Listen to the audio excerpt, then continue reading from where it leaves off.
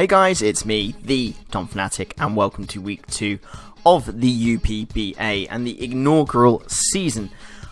This week, we're up against Jack, good friend of mine, Greyvee, uh, boyfriend of Ellie. Um, I'm trying to think what else he's known as. Handsome Jack. Uh, yeah, and his team, I think he's the LA Valienteis in this league. I can't remember. He has Yveltal Town as well, and other players of names of uh, Overwatch League team names in the works. So sorry, Jack, if I've got your team name wrong this time around, but you're one of them. Anyway, we are coming into this game off the back of a 1 0 win uh, in week 1, and Jack is coming into this game on a loss uh, last week. Now, there is no team builder this week, um, as the game is already up like days late anyway, and I've had no time. I've had lots of family stuff go on this week, so I haven't had the time to sit down and record. But I'll give you a brief overview of the team. The Alomomola is a wacky set. It's Adamant, Max Attack, Max Special Defense AV, because it's there to help with the Keldeo along with the Reuniclus. Um, we have got Dragon Dancing Tyranitar because it matches up against his team really well. Um, we've got Sand Rush, Life Orb, Excadrill, um, Dragonium Z uh, Noivern, which by the way, if I'd have kept this Flyinium Z, like I wanted to originally, um, would have made the world of difference in this game. Um, we have got the defensive Reuniclus to help with the Keldeo and the Mega Lopunny. So as you can see, Jack bought a Crustle, a Heatran, a Rotom-Mow, Clefable, uh, Mega Latias, and the Keldeo. Keldeo is in a really situation, weird situation in this game. It matches up against my offense really well, it matches up against my defense fairly bad, but Jack can break that defense with Clef, because Clef is something I really struggle with in this matchup. I have a really easy way of killing it with Excadrill, but I have a hard time getting Excadrill in on the Clefable because Excadrill is a huge win con for me this week. Um, as it can do a lot of damage to a lot of his things really well, uh, especially in sand. So it's going to be a weird game. It's going to be a game of whether Jack can kill off my um, walls for Keldeo and how well he can preserve his Clefable. Um, I'm not going to try and spoil the game, but looking back at it just myself now, there are certainly things that I should have done in prep which would have been better for this game, um, and maybe moves that I should have clicked uh, when I, I, didn't in the game. But it's all hindsight. Um, but yeah, like I said, I'm just stalling for time now because I've set the recording up and I've given myself way too much time at the intro to talk. Um, but like I said, we're looking to try and make this 2 0 going into week 2 of the season. Jack did lose his first game, as I said. Leads, I'm going to lead off of Alomomola because looking at his team, it actually leads off really well against most things other than the Rotom-Mow. Um, but my team struggles with Rotom-Mow. My draft as a whole struggles with Rotom-Mow. Rotom Heat was a potential bring, um, but it, it, kind of struggled against half Jack's team. It kind of struggled, like, really helped. So I didn't put it in the team in the end.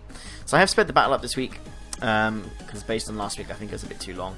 I do lead with the Alomomola, and I'm really worried this thing's going to be Shell Smash. So I'm going to click Liquidation, and that does a butt ton to this thing. It's going to be an easy 2-hit KO as Jack gets up one layer of spikes. So it's a good job that I'm able to 2-hit KO this thing, because um, I wouldn't really want him setting up any more layers of spikes those he already has. He does switch into the Rotom-Mow, and I do predict the switch here and click the knockoff. And we get rid of the Tanga Berry, which means this thing now dies to an X-Scissor from my uh, Excadrill. I'm going to switch out here into my, uh, my... I forgot what this thing's called. Noivern, that's the one. Jack sets up a light screen. Now I'm Infiltrator, so I could have abused that and gone for Z Draco Meteor there and probably killed this thing off, to be honest. Um, which would have been really nice because Z Draco isn't going to come in handy anywhere else in this game, as you'll see. Um, but Jack does Volt Switch, so it could have potentially been a free switch into my Excadrill at that point. But again, hindsight. Um, and he brings in the Clefable. And what I can't tell is if it's unaware or Magic Guard, because obviously I don't have any hazards up, and I don't actually have any way of like poisoning or burning this thing, I don't think, on my team this week. Which is a real shame, because that would have really come in handy if I did. Uh, but I'm going to Psyshock, and I completely forget, because I'm thinking it's the physical side of defense, it still gets affected by, uh, by Light Screen, which is really unfortunate. And now I'm staring down at Clefable, which is at plus one, plus one. And on my team I have no fairy switch-ins.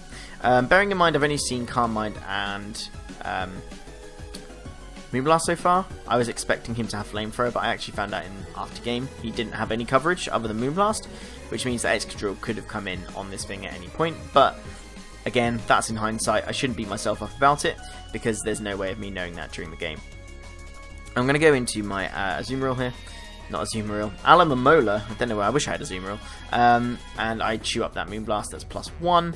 And Jack may have figured out that I'm an offensive uh, Alomomola at this point, but he's going to set up another Calm Mind. Now I can take another Moonblast, that's absolutely fine, but I don't want to get too low, because obviously Regenerate is going to be helping me a lot here. I'm going to knock off his lefties, because lefties are really annoying, and that does decent damage considering it's resisted. Um, he does go for the Moonblast here, and it's going to do a butt ton, but I'm going to survive with the Assault Vest, and I'm going to click Liquidation.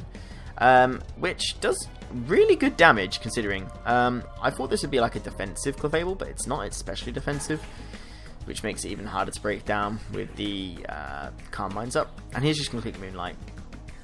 Not a lot I could have really done there, although again, in hindsight, could have gone into Excadrill, and I would have had a Reuniclus still alive, and I would have had a Alomomola uh, at, at, the amount of health it's at now, but I wouldn't have had to uh, potentially save it for this thing, and I would have saved it for the Keldeo.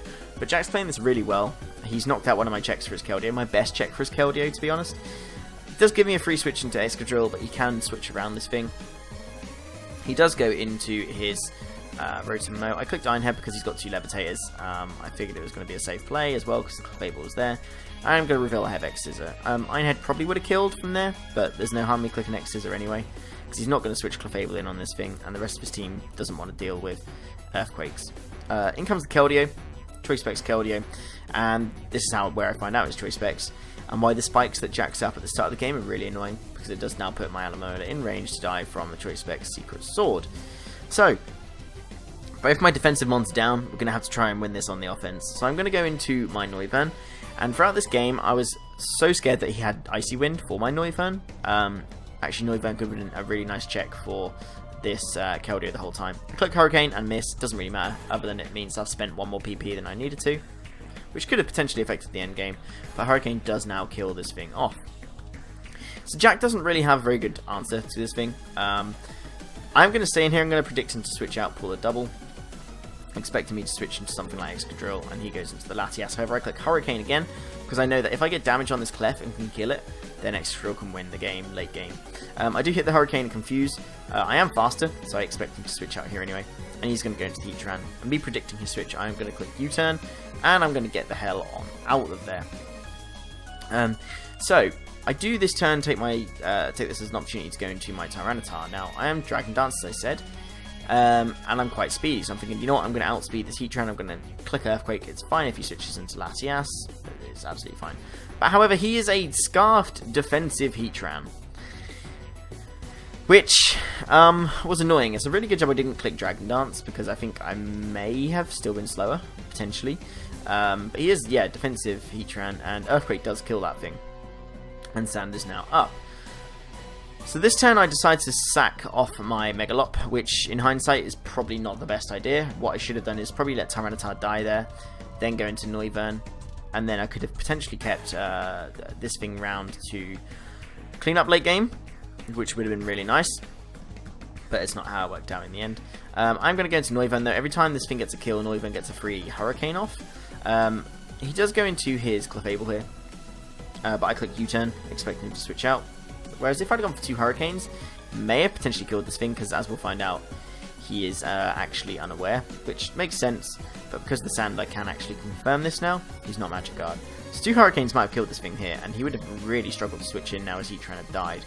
Um, but he does switch into the Mega Latias. I'm going to click Iron Head, that's fine. Annoyingly though, the sand is going to run out this turn, so I have no choice but to go back into my Tyranitar at this point to set up the sand with uh, Excadrill pretty much being the, the end game plan. In my head, looking at uh, calcs, all I need is uh, one turn of chip damage on the Keldeo. If he's standard, has no bulk, then uh, Earthquake should kill. So I just need the chip on that thing. Uh, I'm going to go into Tyranitar because if he wants to roost, that's fine. I have X Scissor. If he wants to try and roost again, that's fine. I have Crunch. He could potentially try and stall out Sand.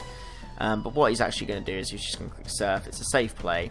If I'd have made the, the switch into Noivern there and kept Tyranitar alive, that may potentially have been um, a better play. But there's no way I'd bring in my Noivern on a Mega Latias when Noivern is so crucial to the end game here. Um, I'm going to go into my Excadrill because I'm still in the sand. I need to abuse it while I still can, and I'm going to click X Scissor because Jack has no switch-ins at this point. Because if he goes into Keldeo and takes a hit, then he can't live an Earthquake. If he goes into his Clefable, he then can't take he can't take a nine hit turn two anyway. I'm going to switch out here, which um, in hindsight may have been uh, may have been the nail in the coffin for me. If I just stayed in and just earthquaked and killed like not killed this thing, but weakened it to the point where I could have just brought in Noivern. Um, I think that actually might have won me the game because as we'll see now, I do click U-turn on this thing. I'm going to go out into my... What have I got left? I don't even remember what I have left. Oh, my Excadrill.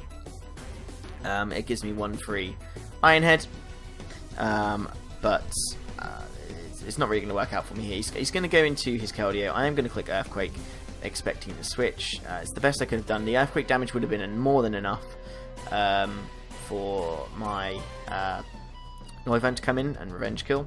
Um, but Jack is going to click Scald here. Uh, and I am going to go down. So this is where me being Z Dragon rather than Z Flying is a bit of a nuisance because I'm going to click I'm going to click Z Draco here. I would have had to have hit a Hurricane to kill this thing anyway. Um, I'm going to click Z Draco just so I don't miss. So this is at least a 1-0 loss if I do lose. Basically, what I have to hope for in this Clef is that I get a confusion on the Hurricane or I crit. I don't even think a crit would have killed. Um, I, I, needed the confusion basically to have a chance because Moonblast will kill my Noivern from this range. If I was still at full health, then Noivern could have lived a hit. Also, if I was Z Hurricane, it was pretty much a 50-50 chance for me to kill from that range based on Jack's spread. But I was Z Draco, as I've already said, and he gets to click Moonblast, and he does kill me off. So, it's a good game with Jack. We do lose 1-0, unfortunately, so we're now 1-1 for the season. Um, it was a tough matchup, really. I think offensively I had a really good time, but defensively I, I couldn't. And Jack was able to play his Clef and Keldeo perfectly. The rest of his team he didn't really need in the end because uh, I killed it off. What I probably should have done is kept Mega Megalop around uh, longer than I did. But hey ho, what's happened has happened. Looking back at it, I don't think I played very well. I think I could have done more to potentially defensively check that Keldeo because it was a real issue for me. Um, but hey, that's the game. If you did enjoy, make sure you leave a like. I know this is probably the, one of the worst commentaries you've ever heard, but I'm trying to rush this to get this video out as soon as possible. Um, make sure you check out all the links in the description below for Jack, for the rest of the coaches in this league, and for the Twitter. Any other links I remember to put in there, just make sure you check them out. Um, thank you for watching this video, guys, and I will see you next time. Bye.